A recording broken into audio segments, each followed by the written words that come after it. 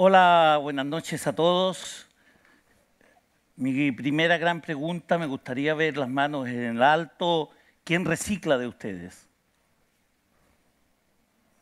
El porcentaje llega a lo que reciclamos realmente en Chile, menos del 10%. Esa es la realidad que inspira un día mi cambio de vida hace dos décadas atrás. Tenía que reinventarme porque la realidad económica me dejaba en la cesantía, me dejaba sin trabajo. Y habían opciones que la vida me entregaba y una de esas opciones era poder reciclar.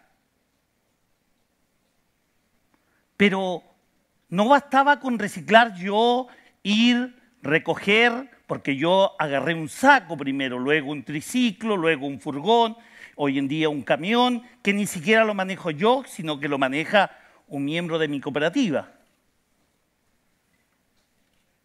Es decir, cómo yo empiezo a tener una mirada de cambio a través de valorar aquello que tú botas todos los días en una bolsa a la calle o que tú lo tiras porque ya te sobra en tu hogar, ¿cómo puedo hacer futuro?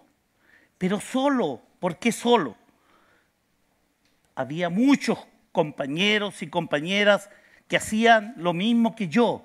Quizás no había partido su opción de la misma forma que lo había hecho yo por haber quedado sin trabajo, pero sí lo hacían.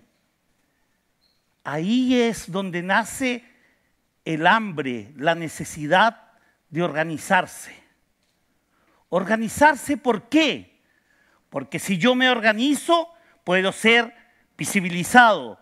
Porque si yo me organizo, puedo ser reconocido. La organización y la organización no debe quedar solo en lo local. Y ese proceso pasa a un plano nacional y a un plano latinoamericano.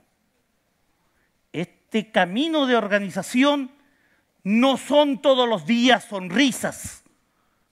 Este camino de la organización no todos los días son buenas noticias.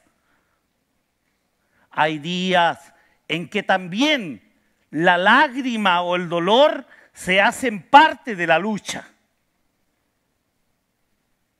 Siempre he dicho y nunca me voy a cansar y agradezco a Dios que ninguna crema que han inventado los químicos han arreglado mis manos. Después del terremoto dejé de salir día a día a la calle y me he dedicado a ser más un dirigente de mi gremio.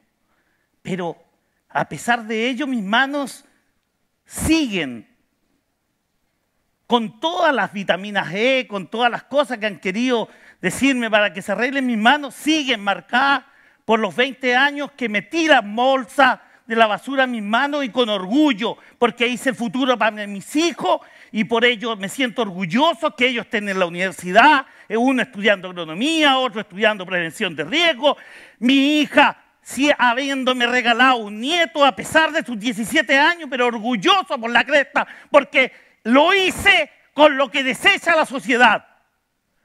Y eso lo hacen cuatro millones de mujeres y hombres en este continente. 60 mil mujeres y hombres en este país. Y eso no solo recogen lo que desecha la sociedad, sino que somos capaces de crear y de proponerle a los estados cambios políticos a través de los manejos de residuos. Somos capaces de invertir en la innovación, en esa innovación que nos puede dar el cambio hacia el futuro. Escuchamos que la bicicleta no emite. Nosotros, el gran porcentaje de los recicladores de base trabajan en torno a la maniobra humana. ¿Y qué, lleva a ello? Las emisiones de CO2. Podríamos sernos ricos con los bonos de carbono. Pero no. Vamos a luchar por la innovación, vamos a luchar por los cambios, vamos a luchar para que de una vez por todas no solo en Chile, sino en el mundo, seamos reconocidos como profesionales de reciclaje y trabajadores, porque lo somos, a nadie le pedimos algo y nos sentimos orgullosos de eso. ¡Vía Chile, mierda!